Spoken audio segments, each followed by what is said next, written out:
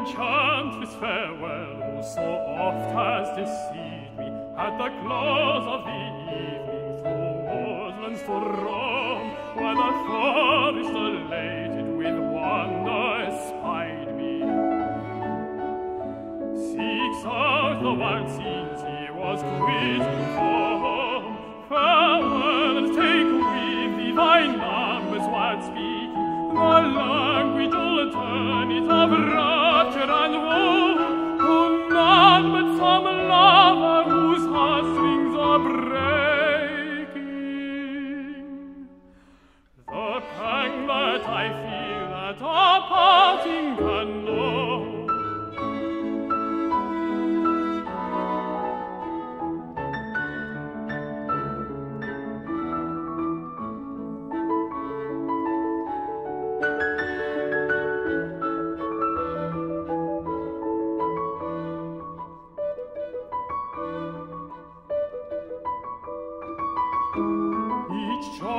could custano, and when there came sorrow, or pale disappointment to darken my way, what voice was like thine that could sing of tomorrow?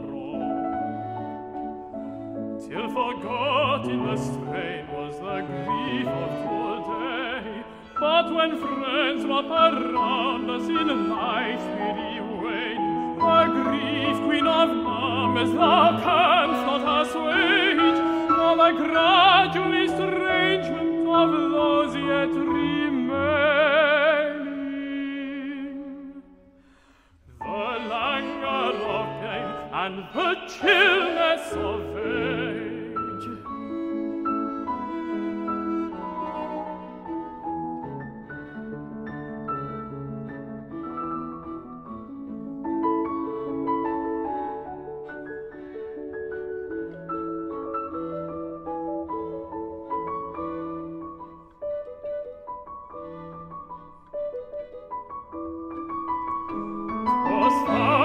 once taught me in accents farewell to sing how our warrior lay stretched on the plain and the maiden hung on him with aid unavailing